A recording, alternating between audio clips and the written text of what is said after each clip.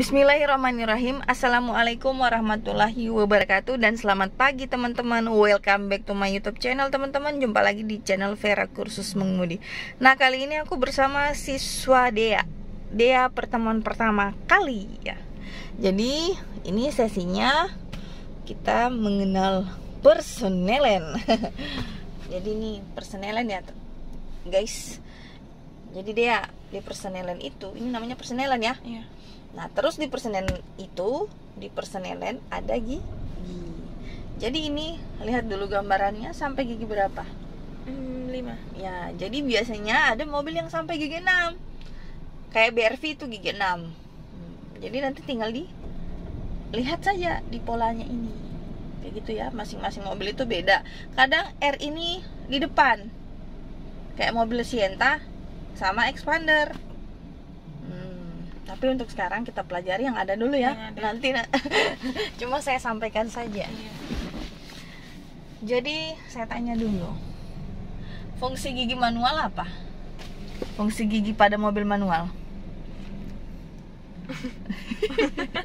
nah, jadi bisa lihat ya, fungsi dari masing-masing gigi mobil manual adalah untuk mengatur laju kendaraan sesuai, sesuai dengan medan dan kecepatan yang ingin kamu dapatkan.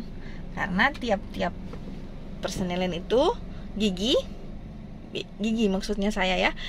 Gigi itu berfungsi apa? Beda-beda fungsinya. Mulai dari gigi satu, gigi dua, gigi tiga, gigi empat, lima dan mundur. Jadi, carakan lagi ya. Kalau gigi satu misalkan perpindahan dari eh, gigi satu ya mau masuk gigi satu itu kita dalam keadaan diam begini diam.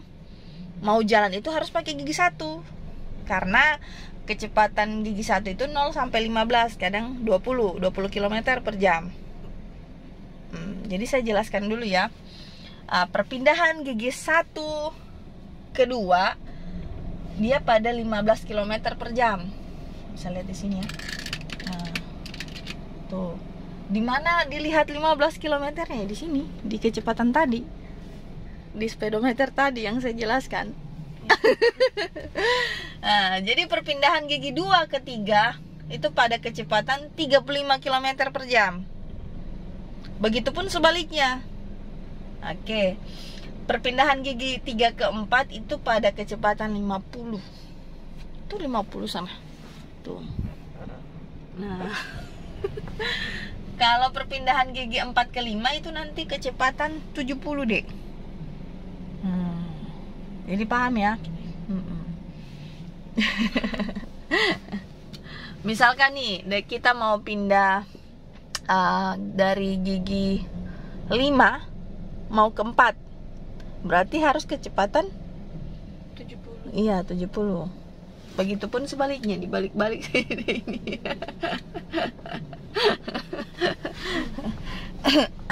Sudah paham sampai di situ tentang gigi? Nah coba injak koplingnya dulu full. Jadi fungsi kopling itu Untuk menaikkan gigi Dan menurunkan gigi Jadi pada saat kita mau memasukkan gigi satu, gigi dua, gigi tiga, gigi empat, gigi lima, bahkan gigi mundur, itu harus menginjak kopling. Begitupun kita mau misalkan eh, melakukan lagi perpindahan dari dua ke satu, itu harus menginjak kopling juga. Yang berhubungan dengan personelen, kita harus menginjak kopling penuh. Jangan setengah-setengah, nanti rusak gearboxnya ya. Jadi misalkan kita injak setengah saja, terus kita maksain ini, nanti rusak ge- gearboxnya. Oke? Nah, kita gigi satu. Sebelumnya sudah pernah nonton tutorial dari saya tentang gigi. Coba gigi satu. Ya gigi dua. Gigi tiga. Netral dulu. Lurus depan. Nah, gigi empat. Tarik ke belakang. Gigi lima. Netral. Kanan. Depan. Oke, gigi mundur netral dulu. Kanan. Ke belakang. Netral. Oke, kalau posisi gigi dalam keadaan netral, kiri kanannya itu bisa digerakkan nah tuh coba kita rasakan dulu geser kiri dan geser kanan. Coba seandainya ada masuk gigi bisa tidak digeser kiri maupun kanan? Itu misalkan gigi satu kan? Ini kita mengira bahwa ini sudah netral. Nah coba kita gerakan kiri dan kanan. Bisa enggak Enggak. nah coba netralkan. Ya jadi seperti itu untuk memastikannya. Jadi dia pas di tengah-tengah. Jadi kalau untuk polanya gigi satu dan dua itu di sebelah kiri. Kalau tiga netral dan empat itu dia di tengah tengah. Nah, kalau di kanan itu lima dan mundur. Oke coba gigi satu deh. Gigi dua. Itu keliru itu gigi netral.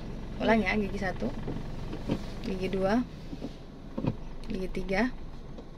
Netral dulu. netral dulu dorong sedikit ke depan. Nah gigi empat gigi lima. Nah lima langsung ke mundur itu gak bisa.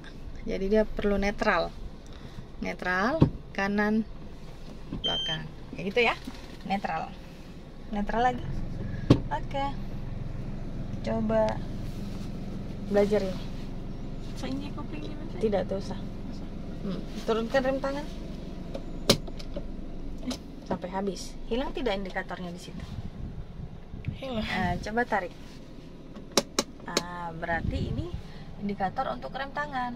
Biasanya ditandai dengan tanda seru atau tanda P. Nah, berarti itu dalam keadaan on. Coba turun ke bawah. Coba tarik ke atas. Oke coba turun lagi ke bawah. Nah, tarik ke atas. Oke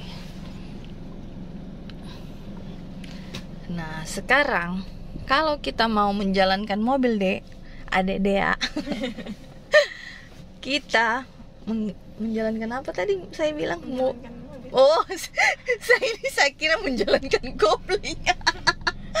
oh ya Allah, saya ini kadang karena banyak yang diajar ya. Oke, kita injak kopling full dulu dengan rem, dengan rem juga.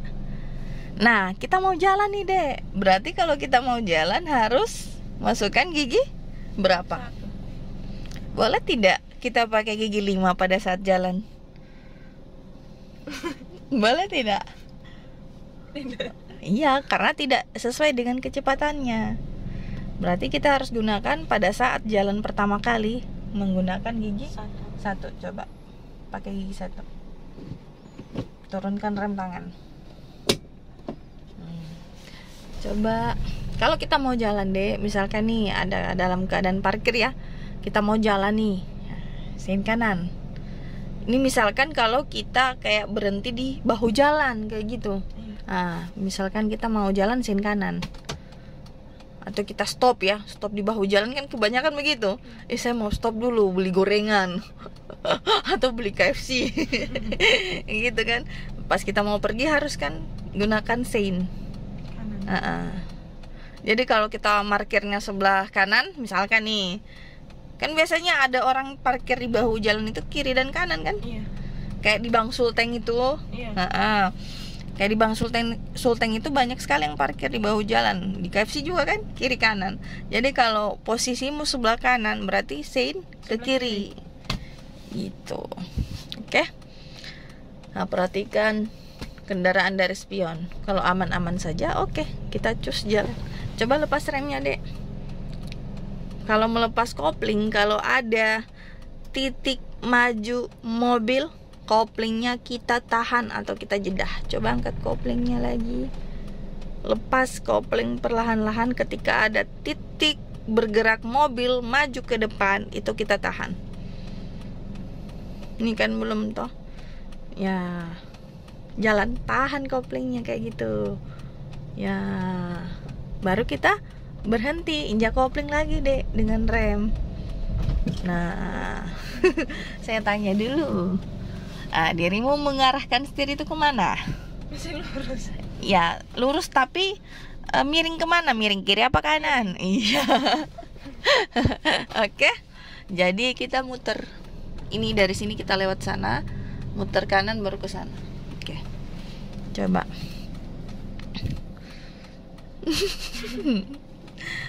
oke Hmm. yuk putar kayak tadi ya dipahami putaran setirnya ya ditahan dulu segitu ya ditahan kemudian kita ke sana tuh Oke teman-teman, sekian dulu vlog mengemudi hari ini. Wabillahi taufik wal hidayah. Wassalamualaikum warahmatullahi wabarakatuh. Dadah, jangan lupa subscribe, like, comment, dan share.